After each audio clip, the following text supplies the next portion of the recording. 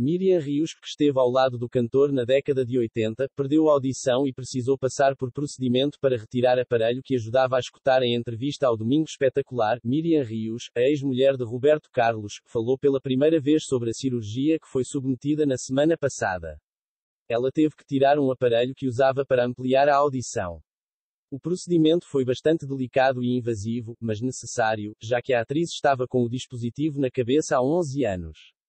Outro tipo de perda de audição tem como operar, passa e tudo bem. Esse não tem o que fazer, é aparelho até morrer, disse a famosa. Ela confessou que temeu perder a vida, principalmente, por causa da família. Um dia todo mundo vai morrer, seja de infarto, cirurgia, atropelamento.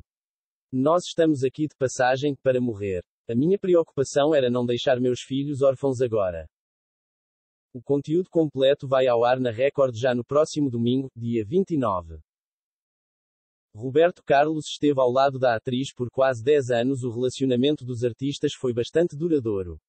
Eles estiveram juntos por quase toda a década de 80. Porém, as crises de ciúmes do cantor teriam levado o romance ao fim. Na época do namoro, Roberto chegou a escrever uma música para Miriam Rios. Eu não vivo sem você. Tudo que eu andei procurando pela vida, agora eu sei que em algum lugar te encontraria, dizia em um dos trechos.